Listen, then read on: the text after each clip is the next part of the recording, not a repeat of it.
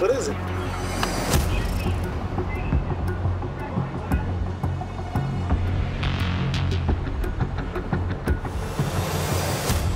It looks like a bundle, but it's just a noise canceling foam that they use. So it's okay. Okay. Just uh, run our density meter over it, see if any of the panels or doors are up with anything.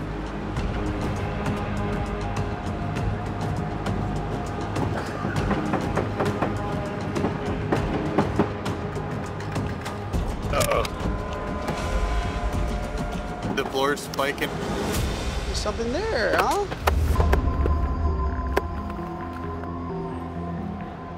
All right, so there was a higher reading on the floor in some parts of the floor. So bring it back to Z portal.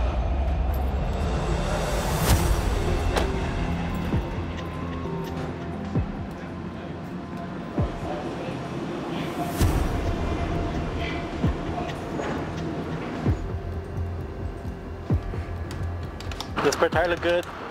The tank look good. The quarter panels look good. He's clear. All right, man, you're good.